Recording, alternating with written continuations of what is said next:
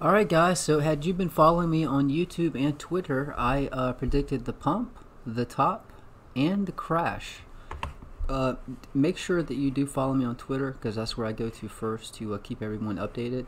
By the way guys, I am offering, um, I do have lifetime options. Uh, it's $2.99 for everything, including tutorials, and $2.49 if you don't want the tutorials. Um, I'll cover that, but if you do want to pay with crypto, just go to the contact, contact me via email, and I'll set you up.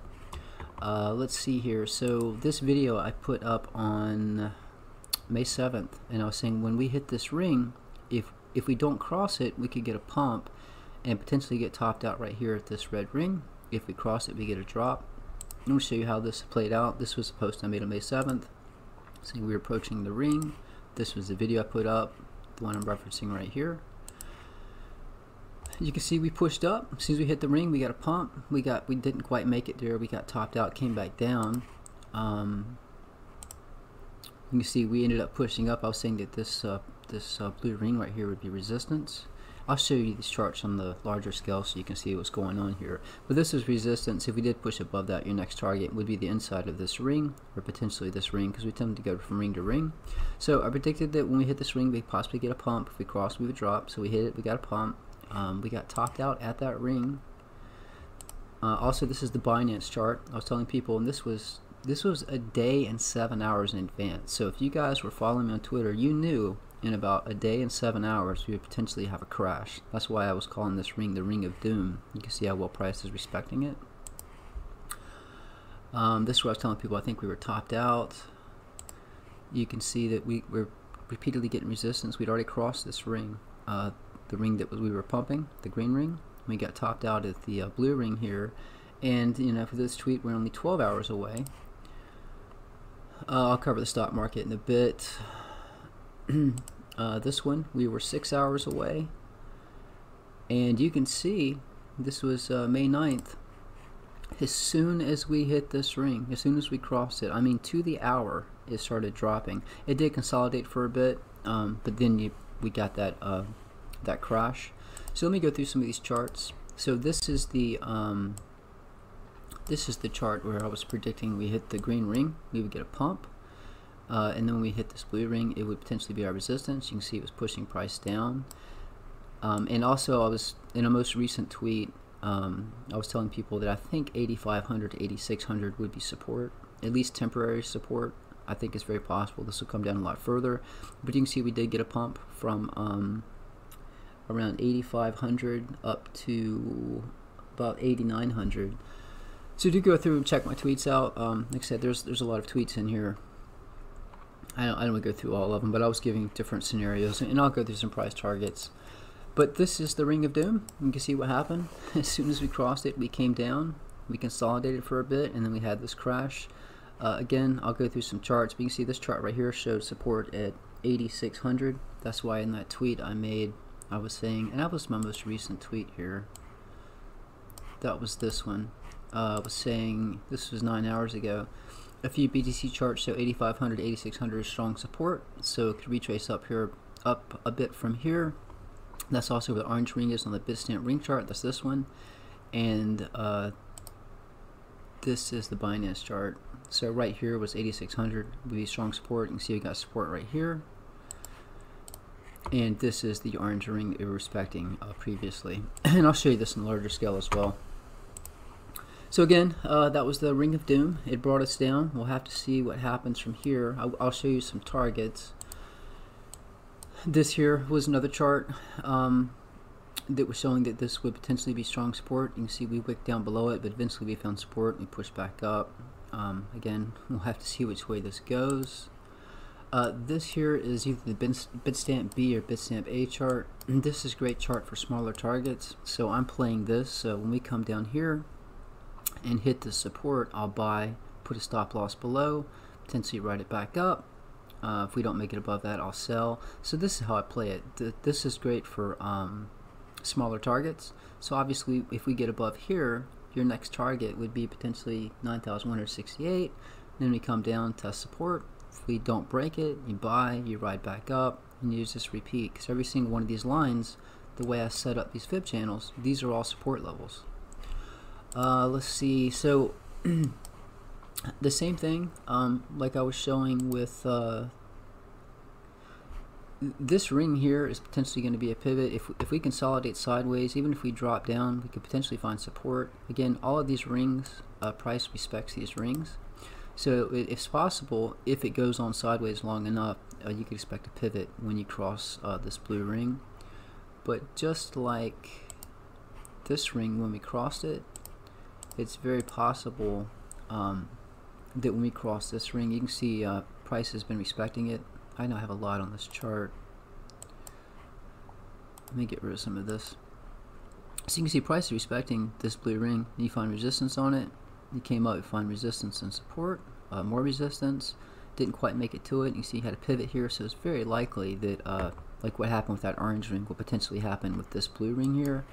Um, that is about 18 hours away. So it's possible, you know, we could ride up this ring and then cross and come down, or just hit it and come down. But you can see up here, this was a lot of resistance. So again, if you pushed up, you're going to get a lot of resistance up at 10,127. Uh, I don't see that happening. Anything's possible. Uh, I and I was mentioning this in video a, a, few videos back that there was a gap up here that would potentially get filled. Uh, you know, I was calling for us to pump up to a certain point and it made sense that if we were going to push up we might fill this gap and you can see we did I mean we the gap was between 10,220 and 10,085 and we wicked. We came right up to fill this gap and then we wicked right down back below it. So again these these gaps do come into play. So you know if we did push up much higher we do have one more gap up here at between 11,805 11,695 so if we did push up again for one more last hoorah you know this would be the point where just like here it would come up fill this gap and they come down I'm not that bullish but just want to let you know that that is a possibility I do think we'll be coming down uh, this is the peak of the bull run chart guys uh, always reference different charts if, if we're gonna have big moves I, I suggest you load up peak of the bull run chart and the Kraken chart. That's the great charts for larger moves. You can see we came down, we almost touched this. this yellow ring's given us a lot of support and resistance. so you can see at this point, you know, it retraced back up. So if you had this chart open, you notice we got close to this point and stopped. That was a potential buying point, which is around 8100. Oh, by the way, if we do drop down, you can see we have been following up this trend line of support. So if we did have another drop, look at potentially um, 7700 as your next support level. There are other charts that also, um, there's a lot of confluence around 7700 for support, even if only temporary. But if you break that support, I expect us to come down much further. This is the, um, which one is this? I think this is the, this is the Coinbase weekly chart. So this is the more macro uh, this is on the daily. So this is the halving. Um, it's on the 12th. That's just uh, two days away. If we do drop down, you can see this blue ring's been a lot of support. This is around 7,500, maybe 7,600. That gives a little more confluence with um, that previous chart. But again, if you'll take note that when we crossed this blue ring, we had a drop. When we crossed this white ring, we tanked. This is the next white ring out and this is the next blue ring where it intersects. So, you know, if, if this goes down and sideways, I expect potentially to have a huge move to the downside when we cross this uh, white ring. And I do have other charts that show um, potential targets, but but we do go from ring to ring. So if we break this ring and this one, you know, you could come down here and potentially test 3,353. I have pretty previous videos where I give um, targets to the downside. I still think it's very possible um, we could put in a lower low. My target is still this again. This is the peak of the bull run chart. Um, your first your first major support. You know, if we have a large drop, of course, this is a downward angle. You know, 5,700 down to 5,400. This is the ring we bottomed on. Um, in that previous video, I well, video before the last, I, I, I was talking about where I call the bottom um, at around 3900 so if we do have another drop this this ring because you can see how well we've been respecting this red fib circle we got we got support resistance on this one we moved up we found support as soon as we broke it we dropped down, we found support, rode up this red ring. As soon as we broke it, we dropped to this red ring. So if we drop past this, your next target potentially is 4,416 up to 40, 4,900. Uh, these trend lines will come into play. This is part of a fib channel. Price has been respecting. I just use trend lines to extend it out. Keep in mind, um, these will be your potential uh, support levels as well. Ultimately, though, guys, if we do have one massive drop, just like uh, this ring was support, this this red ring, this red ring became support. So if we break past this ring, you know, this this if we hit this ring and push up, you know, maybe the bull run started. If we break this, we're coming down to this ring because this is the next ring down. Uh, just going through some of this stuff, but I do expect something major to happen. So do do uh, keep your eye on the Coinbase uh, weekly chart. I do think when we cross this white ring, this blue ring, we're going to have one heck of a drop. Um, I did add a new tutorial. It's called uh, Refined Method Creating Fib Channel, uh, a Fib Channel Chart. This is the tutorial here. Just play a little clip of it, which is kind of cool though. Um, it's like if you're if you're trying to fit price action, like we're, we're moving this around. Let's see if we can So I go through and I create this entire chart from scratch. I show you how to create the fib channel charts. If I mean, I'll create these charts, but if you're interested in learning this method of charting I created, this is I do have multiple tutorials. Again, the first one, the most important thing is trend lines. All my uh, charts that I create are based off of trend lines. So the most important thing is understanding trend lines, how you can find um, potential tops and bottoms.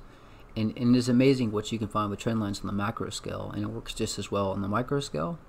And then I show you how you can create uh, fib circles from the uh, trend lines. And then, you know, these are the older style when I was creating these fib channel charts, but I learned a lot since creating these. So that's why I created this tutorial that shows the new things that I've learned setting all of this up. And again, guys, uh, if you pay for tutorials, if you just want tutorials, it's $150. But again, I'm offering lifetime access for everything for 299. So if you do want to go that route, guys, just uh, send me an email through the contact form. Uh, I am updating um, altcoin charts. I'm just doing uh, Ethereum, Litecoin, and Ripple right now. Later, I'll go through and potentially do BCH, and I'll, I'll do some um, some polls on my uh, website and find out which. I'll, I'll put a few uh, alts up, and you guys can decide which ones you want me to create. But I would like to show you. So these, the most recent altcoin charts I put up is um, XRP. Yeah, so I've got, um, and I'm playing around with different indicators, and I'm asking you guys to kind of give me your feedback, what you like. But uh, I have RSI and I have the the MACD in here, trying to kind of change color scheme. But you can see when I set up this chart, price is respecting these fib channels. This is the uh, one day with the with this ribbon. Um, I also have, so I got three versions of it this is with the Ichimoku cloud. And again I need to adjust maybe the coloring of it but this is with rings so you can see currently XRP is finding resistance on this ring right here. It pushed us down. Your next support for XRP if we have one heck of a drop would be around what uh, 13 cents? You can see that we did find support right here on this ring. So I'm, I'm telling you guys these rings are just amazing for finding targets and pivot points we found perfect support in this ring, pushed back up right to this uh, this line and this. Actually, yeah, that is uh, a fib channel line. We found support on it, and I do have the VPR, VPVR in here to give you uh, potential points where there's a lot of volume. Uh, just showing you these versions of the altcoin charts or for XRP, and this one here. I have another ring in here, but as you can see, when we drop down, the first time we wicked way down below, the second time we came down, found perfect support. You can see this, this uh, line right here for XRP was a lot of resistance. So obviously this would be support. So again, guys, I'll be creating, uh, updating all my altcoin charts with this style. But please give me your feedback if, the coloring if of the candles, I, it stands out more. That's why I made them red and white. But again, I, would like to uh, you know have you guys give me your feedback so once I get this this style set up and have all the indicators you like then I'll start using this this same setup for all the other altcoin charts Uh, so I do have stocks as well. Um, these are all the stocks I currently have. I would like to go over. And by the way, I'm I'm going to be doing the S&P 500. Uh, I was. a lot of people are asking about the Nasdaq. So this is what I was talking about. I did a poll here, um, whether to chart S&P or the Nasdaq. 85% chose uh, S&P, so I'll be creating that today, along with Litecoin and Ethereum, uh, with the same style I did the XRP. But uh, when I get finished with those, then then I'll probably put up a, a few um, altcoins, and you guys can decide which one you want me to chart first. But uh, I did want to point out in the Dow Jones, um, you know, I'd set up this ring here, this this brown ring that price has been respecting. And it just so happens that uh, we're going to make contact with this brown ring right at the time of the halving and you can see when we hit this brown ring it pushed price down. We kind of rode down it. It pushed it down. We rode down it found support. So it's just kind of, I don't know if it's a coincidence or not but I think something's going to happen pretty soon.